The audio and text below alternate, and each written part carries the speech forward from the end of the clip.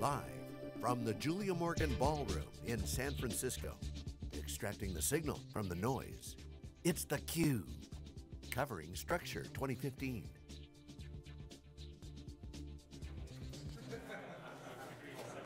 Hi, welcome back everybody. Jeff Frick here with theCUBE. We are live in downtown San Francisco at the rebirth of Structure.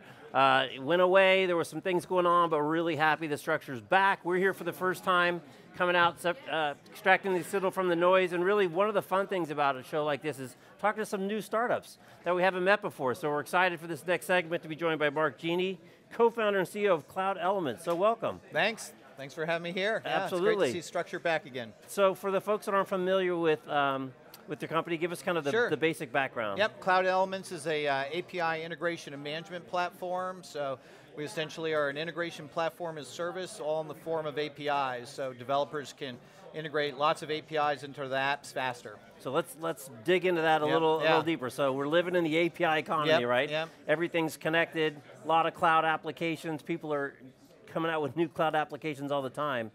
So that part's pretty much done, but what you guys are really addressing is now the new challenge, which is now I have them, now what do I do with them, how do right. I manage them, how do I integrate them? Right, yeah, if you really look at the first generation of API management, it's about publishing APIs, right? So, and developers have figured out how to do that really, really well. There's now millions of available APIs. Problem is they're all different. They all have their own data structure, their own syntax, their own format. So what we do is help developers kind of normalize those APIs so they can consume them faster, right? So now the next generation of API management is about how can I consume all these millions of APIs that have been developed. So what do you find in the field? What's kind of the breaking point? What are some of the catalysts that get people to say, okay, I have to, I have to slow down on the, my implementation of all these things yeah. and actually start to worry about managing it? yeah, them? well, what, what's happened is if you look at the typical enterprise now, they have 15 to 20 SaaS applications they're using. And then you've got the aspect of, like its structure here, this multi-cloud environment where the world's become multi-cloud. So now you're using multiple cloud environments, et cetera. Every layer of the cloud is, has APIs, and they're all unique, and they have their own structure right? So now we've really reached this tipping point where you're now consuming dozens and dozens of APIs in, a, in an environment, in a uh, enterprise, at all layers of the cloud.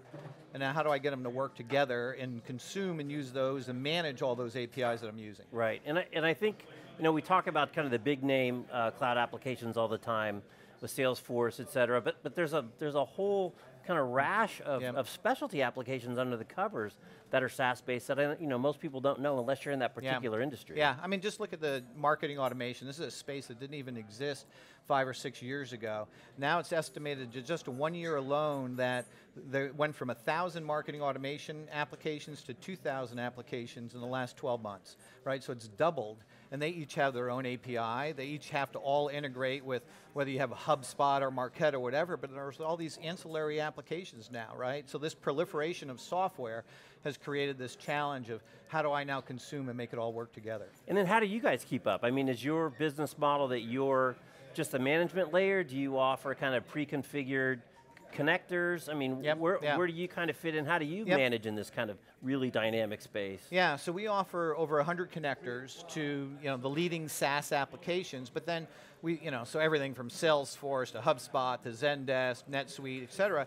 But then we've also built tooling that you can easily publish in integration to the next one, right? So those thousands of marketing automation applications, we can add them in, our customers can add them in, or a um, integrators or partners that we work with can add those into the platform as well. Yeah. And then from the customer perspective, do you do you see any kind of one plus one makes three effects when you're starting to tie some of these disparate applications together in ways that maybe you either couldn't or you didn't think about it, yeah. or you know, are you getting kind of some some synergies there that uh, maybe uh, you couldn't do before. Absolutely, well what's happening is you can build applications faster than ever now because you can say, hey, I want to build a new mobile app, but I want to use a company object from Salesforce, files and folders from Box, I want to use you know, servers on EC2, and I want to use my ticketing system from Zendesk, you can take APIs from all those and now build a new application on top of that, right? So all those data structures to create a company object or something like that, you don't have to do anymore, right? Because you can glue these services together now into new apps and new services, right? And now if you really look at the the advent of microservices, right, where you can just pick a, you know, a small little service to do notifications or whatever it might be, you can combine those together now into new services, right? And so you can, you know, make new APIs out of APIs, or you can make new applications out of APIs.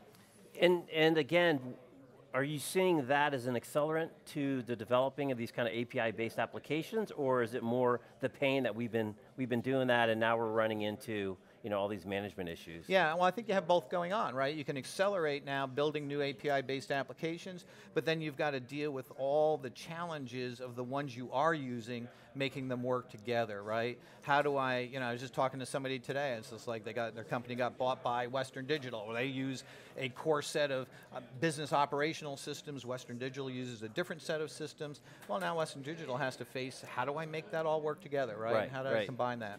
And so where do you see it kind of evolving over the next several years as, you know, everyone obviously, APIs are everywhere, everybody wants to work with other applications. How do you see kind of the evolution of this market space? Yeah, um, I think you're, you're right now, you're at the phase where you've got millions of APIs with microservices coming along where um, you're going to have tens of millions of services or APIs available, right? So you're going to see these just continual exponential growth in the amount of services available, and that's again where kind of consuming those APIs is about how do I transform the data payloads between them? How do I consume events when there's changes at different endpoints? Uh, how do I manage the logging of all that, right? And, and so that's a kind of a whole set of services that are going to be about using APIs and making them work together, right? Because of that, just again, that exponential growth that we're going to continue to see. And then the other thing that comes up uh, some of the shows we go to is talk about the kind of the permanence because now these things are so easy to build these microservices that they may not necessarily have a long lifespan. Yep. You know, they may be singles use or short-term use.